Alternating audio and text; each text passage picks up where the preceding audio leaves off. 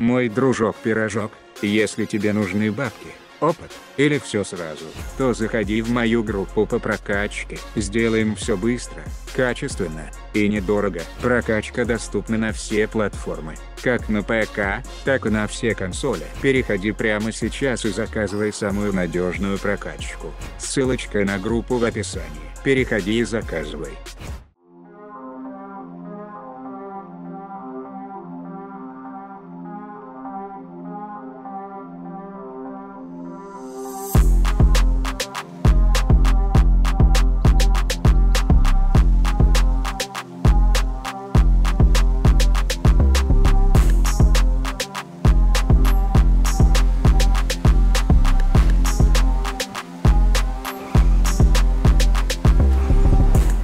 Всем привет мои дружочки-пирожочки, перед вами Оверфлет Тайран, ну или же по-русски Тиран. Начнем с главного вопроса, а на какой собственно ты решил делать обзор именно на эту бричку? Отвечу сразу без какого-либо пиздежа. В табличке результатов всех суперкаров на трассе Гран-туризма был пробел, и пробел этот как раз из-за этого суперкара. В этом обзоре мы протестируем Тайранта на всех доступных трассах, глянем его максималку и результаты на кольцевых. Я был приятно удивлен. Но не до конца, очень своеобразный автомобиль. Кстати его можно сейчас спокойно купить за какие-то два с половиной ляма.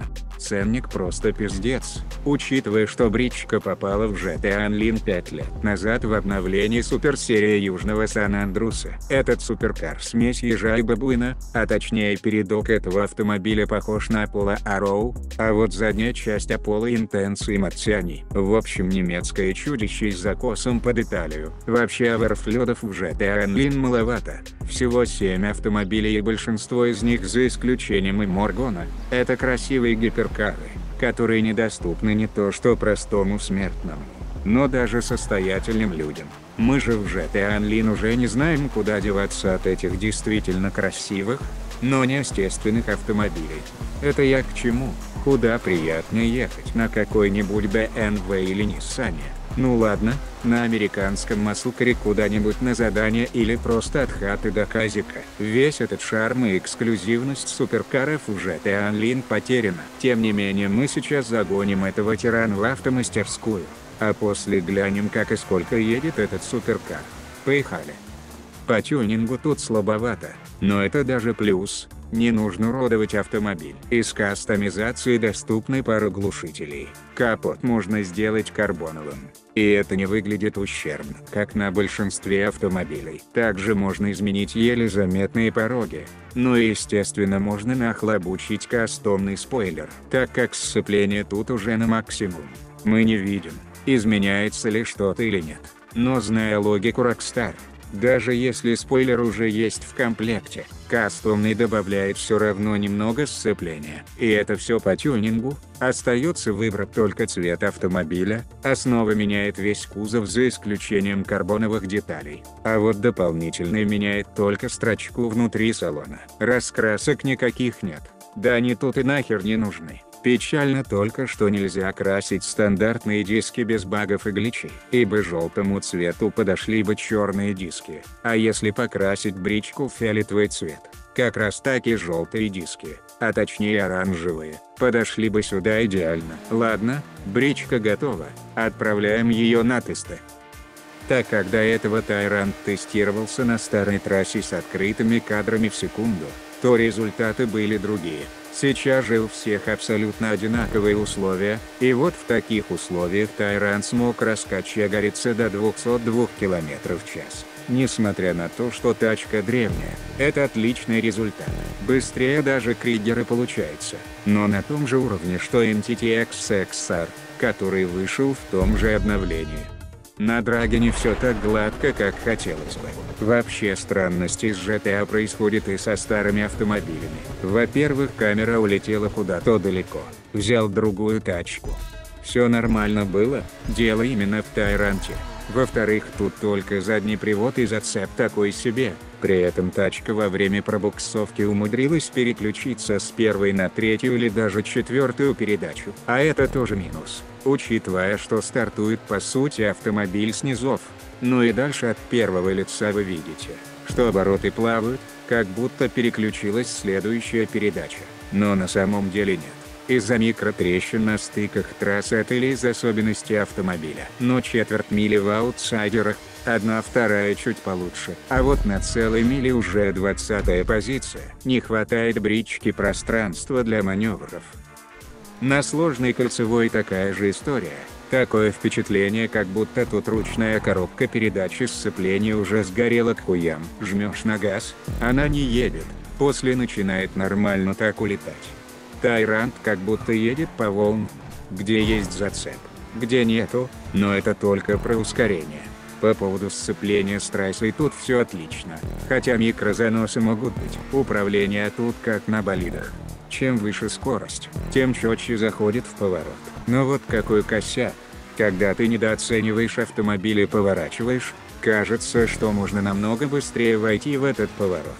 Когда переоцениваешь, все наоборот. Управление странное, как будто с задержкой.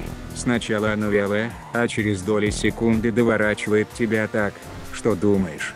Ну ёбаный рот, можно же было быстрее пройти. И вот так придрачиваясь к тачке можно ее понять. А понятно одно, что нихуя непонятно, то автомобиль летит и входит как по маслу, то просто отказывается нормально заходить в поворот.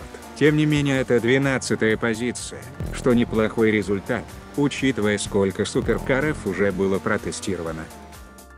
На Гран-туризме большинство суперкаров раскрывается по полной. И можно было бы сказать, что Тайранту повезло, но нет. Тут его отфутболили на 22-ю позицию. Хотя сами результаты не такие плохие. Именно на около максимальной скорости этот автомобиль становится максимально приятным. Там где на половине суперкаров я тормозил, тот пролетал без каких-либо проблем и естественно без торможения. Бричка прилипает к асфальту. На кочке ей побую. Все проглатывает и дальше едет как поезд по рельсам. Да, динамики возможно тут немного не хватает если смотреть на результаты. Но вялости ты не ощущаешь, это прущая бричка, которая четко следует твоим указаниям. Но делает она это только когда мотор уже раскручен на максимум. Естественно до фанатизма доводить не нужно, и она не будет вам идеально ехать по серпантину на скорости под 200 км в час. Управление тут хоть и хорошее, но не настолько. Да вы сами видите как автомобиль четко и без какого-либо колебания идет по той траектории, которую я задал. После тестов каких-нибудь классических маслкаров, это прям бальзам на душу. Но автомобиль меня все равно не цепляет и я сейчас попытаюсь объяснить как я вижу эту бричку. Вернувшись в свое детство, в начале нулевых я очень любил коллекционировать игрушечные автомобили.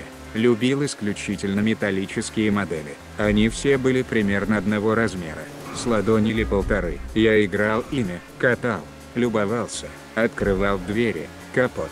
В общем были такие идеальные игрушки, как настоящие брички, только в миниатюре. Но бывало так, что родня дарила и пластиковые машинки. Издалека неплохо выглядят. Но это пластик. И играть легкой пластмассовой машинкой мне не особо хотелось. Хотя я никогда не показывал, что мне что-то не нравится. Так вот, Тайрант – это та самая пластиковая машинка. Красивая да, но кататься на ней не особо хочется. Поэтому тратить два с половиной ляма на этот пластик – ну такое себе. Хотя справедливости ради могу сказать, что большинство топ-суперкаров это те самые пластиковые игрушки. Они ездят быстрее всех, они лучше во всем. Но они пластиковые, бездушные. Поэтому я рад, что в последнее время Rockstar добавляют и маслкары и внедорожники. Также Rockstar сообщили, что летом выйдет масштабное обновление. Без суперкаров не обойтись, и эти суперкары будут цеплять только одним – техническими характеристиками, а какие бы красивые они ни были, такая люксовая красота уже не цепляет. На этом все мои дружочки-пирожочки. Спасибо вам за просмотр. Всем ББ, всем ГГ.